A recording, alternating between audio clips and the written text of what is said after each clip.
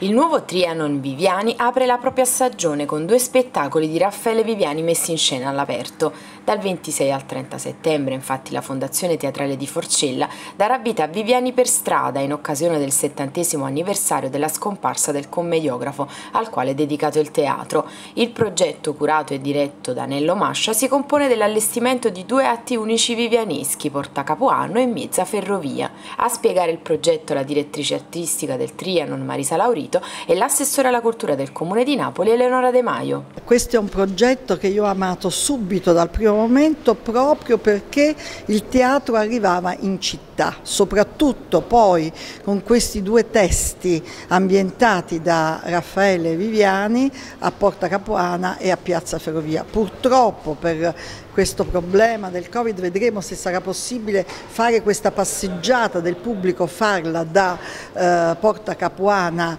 alla ferrovia perché sarebbe bellissimo, stiamo lavorando per questo, però soprattutto io sono molto felice che si inaugura il teatro,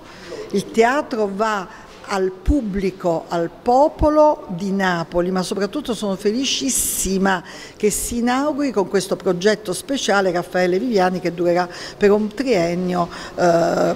con Nello Mascia. Va un grande ringraziamento al Trianon per aver recuperato una parentesi sospesa prima del, del lockdown, nel senso che noi eravamo tutti pronti a celebrare lo scorso marzo questo importantissimo anniversario che riguarda Raffaele Viviani e chiaramente ci siamo dovuti interrompere perché marzo è stato il mese mese eh, di pieno lockdown e di piena chiusura per il nostro Paese. Quindi in realtà riparte questa stagione 2020-2021 eh, con un impegno che avevamo con la città ma probabilmente con l'intero Paese.